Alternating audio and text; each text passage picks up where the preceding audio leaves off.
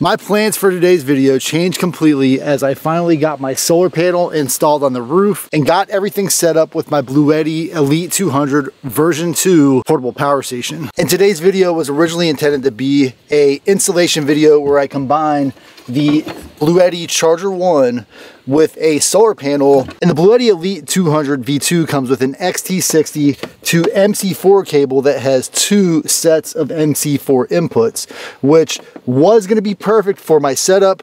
I wired this one to receive my solar panel off the roof of my minivan. And then between that and the Charger 1, both of those power supplies were gonna go into the Elite 200 V2. And so the problem is that my solar panel puts out 27 volts and the Charger 1 can put out up to 56 volts. Well, if I want to run those two things in parallel, I need to drop the voltage on the Charger 1 to match the voltage of my solar array. Or I could increase the voltage of my solar array to be closer to that 56 volts.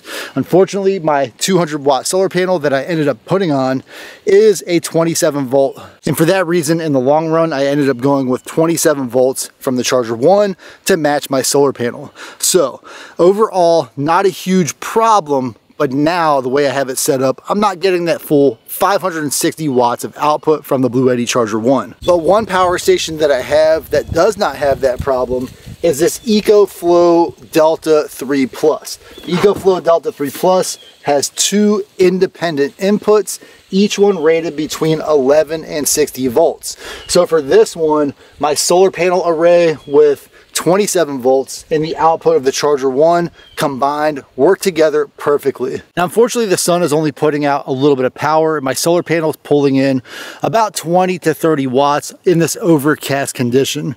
So I'm not able to show the full capability of the solar panel with the Charger 1, but I wanted to share this with you before I got into the main point of this video, which was to install a solar panel combined with the Charger 1 on my minivan camper. Today we're going to put a solar panel on the roof of my Toyota Sienna minivan camper. In my last video I installed the Bluetti Charger 1 which provides up to about 560 watts for my Blue Bluetti Elite 200 version 2. But that 560 watts of charging capability is only available while my engine is running. And so in order to maximize the input on this Blue Bluetti portable power station, I want to add my either 180 watt solar panel that I had on my previous minivan camper, or if I have room, upgrade to a 200 watt solar panel that also has that bifacial design. And with that bifacial design, that new solar panel should give me just a little more power off the reflective surface of my van, especially in some of those lower light conditions where the MPPT on this power station can really help me out. So this is the panel that I had on my last minivan camper design. And this is a 180 watt BougeRV 9 bus bar solar panel. The two main differences between this solar panel and the 200 watt solar panel, one is the wattage difference. This one's 180, that one's 200. But also the footprint, although they have a very similar surface area, the 200 watt is just a little wider. So the reason that the width might be an issue for that newer solar panel is it actually will overlap a little bit of the plastic surfaces on both ends of these roof rack crossbars. One of the main things I want to be able to do with the solar panels on the roof of my minivan camper is if I want to remove them, I want to use these roof rack crossbars. That way I can just unbolt it, remove it, or add it back as necessary. Back in 2020, I mounted this solar panel on the roof of my prior minivan camper I simply used some self-tapping steel screws, screwed them into the crossbar, and then used these threaded or these locking threaded bolts to secure these feet to the solar panel. And this structure surprisingly has been very strong. I went through some crazy winds. I drove this thing all over the country. I'm talking probably about 50,000 miles of travel and this thing did not budge at all. So hopefully the new solar panel has a similar build quality and when I go to mount the new solar panel to the crossbars in a similar fashion, they will be similarly as strong as this solar panel was. The new solar panel It's a little shorter, but it's also a little wider, but overall about the same footprint. So before I go any further, I just want to drop this one on the roof. I want to see if it'll actually fit in the space up there. And if so, I'll probably end up mounting this one to the roof of my minivan camper. Before I put it on there, there are a couple of considerations I have for the position that I want this to be. And number one, I don't want too much of the solar panel beyond the roof rack crossbar and there is a bolt hole just about five inches in from the leading edge of the solar panel. So that's where it's gonna sit when I bolt it in here. Previous 180 watt solar panel, I had to be careful not to put the solar panel too far back because I didn't want to hit this tailgate. And with this shorter panel, that doesn't seem to be an issue at all. I got one more consideration I need to show you guys. And that is I will most likely put my awning on there. And so I want to make sure that when I have the awning, which also has its own set of crossbars, that I have room on that side for the awning to hang over the edge of the van.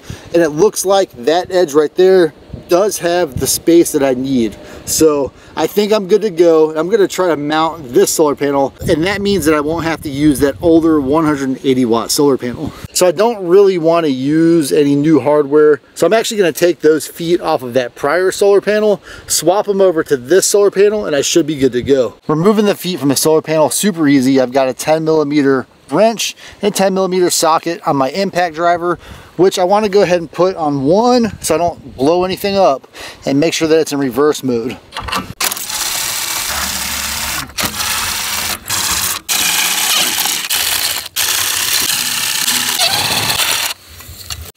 All right guys, so I got that thing pretty securely mounted.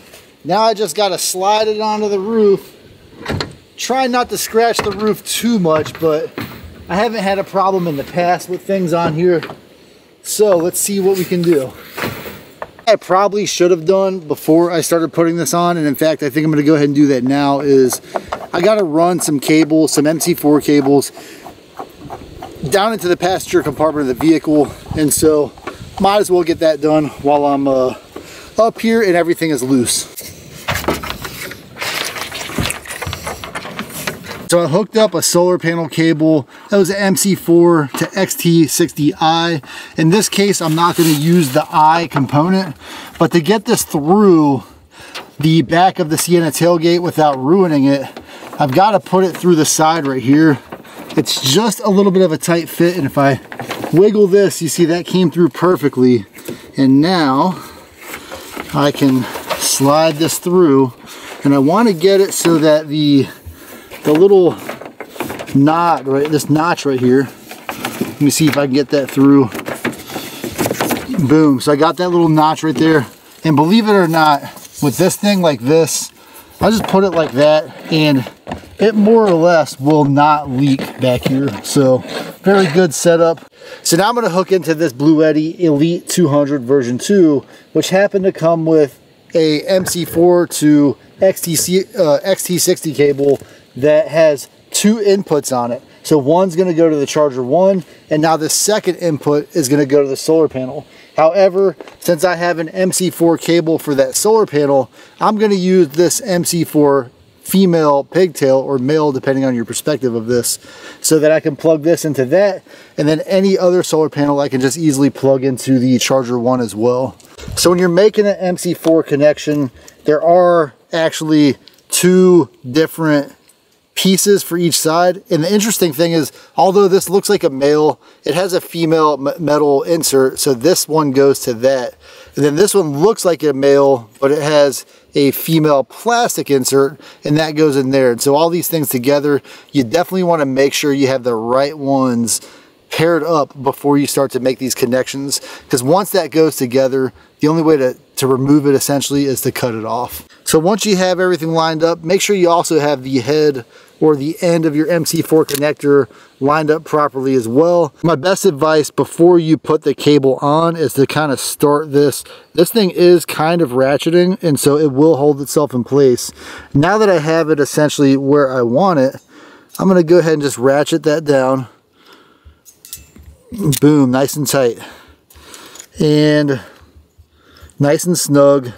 So what I want to do now is get my imp, my female input, slide that in there, boom, and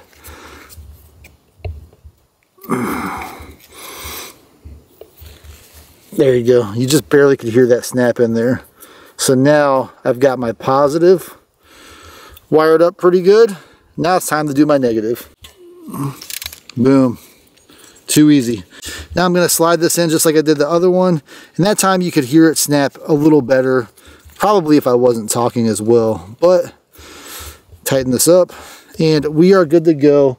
We've got a positive that goes to a positive and a negative that goes to a negative. And I didn't really expect this, but the Charger 1 cable is long enough that if I wanted to, I could put the power station in the trunk, which was my original plan when I started setting up this minivan camper. Since I can do that, that'll also allow me to keep the bed where I have it right now and have the fridge in the back of the of the minivan. So for now, got my solar panel hooked up. Well guys, I waited till the morning to test the solar panel because it was getting kind of dark last night. I didn't have any sun and I think I might have a problem with this setup. My solar panel is putting out 27 volts. I just checked that with the voltmeter. I've got the Bluetti Charger 1 running at 56 volts. And I think there's an issue with both of those operating simultaneously. The, the Bluetti Charger 1 I don't think can react properly to having that solar panel on the output side of it. So I, am going to do some troubleshooting there just see what the problem is. But this may not work for me like I had hoped. So let's see what happens. So you guys can see here, I'm pulling in about 20 watts from just the solar panel right now. With the solar panel on, I do have the Bluetti Charger 1 turned off, but let me turn it back on. So to get the solar panel to operate better with the Charger 1, I set the output voltage on the Charger 1 to 27 volts, which is essentially the output that the solar panel is getting as well. And what I have going on now is because the amperage of the Charger 1 is higher than the solar panel, when the vehicle is running, I'm only getting the power from the Charger 1. When I turn the vehicle off, then I'll get that trickle charge from the solar panel. The horizon is pretty low if you look at that shadow on my face, so the sun is not very high right now, and so I'm not getting a combined capability of the solar panel and Charger 1 at the same time. For the Charger 1, I settled on an output voltage of 32 volts, and that gives me, with any sag voltage, a 27 volt output so that when the vehicle is running, I'm getting that 280 watts from the Charger 1 into the power station. Once I turn off the vehicle, and now you see the the 20 watts, again, I'm at a low horizon, so 20 watts is about what I would expect at this early morning time, you know, in early December. So I feel like that's about as good as it's going to get with that Charger 1. I mean, you can't you can't fake the laws of physics. So if my Charger 1 is outputting 56 volts, then I simply need a solar panel array that is close to, if not equal to 56 volts. And so for my setup, a second solar panel in series would add that voltage and then the 27 times 2, 54.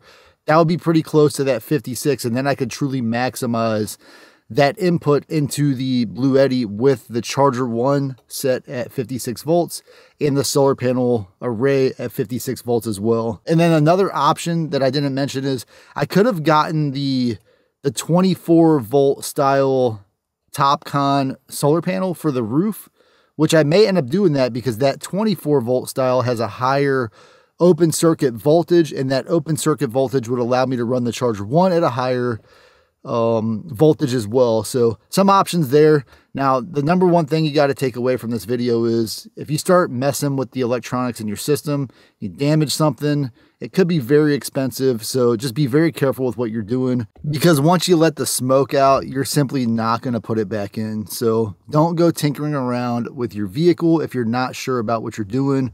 And in all honesty, I have made my own mistakes that have been very costly messing around with vehicles as well. So You know, if you if you start opening that hood and attaching something to your alternator and then messing with the solar panel array, messing with these uh, batteries and power stations, it's high voltage. It could be dangerous. Um, you know, I, I, the the main point here is make sure that you're being safe and that you're not damaging your vehicle. Ultimately, I wish I could have gotten a little more power combined out of those two systems. If you enjoyed this video or you want to see the follow-up, maybe where I upgrade that solar panel or just follow the journey on my minivan camper build, make sure to subscribe give me a thumbs up. And if you want to, say hi in the comments and tell me what you're working on, and I'll see you on my next adventure.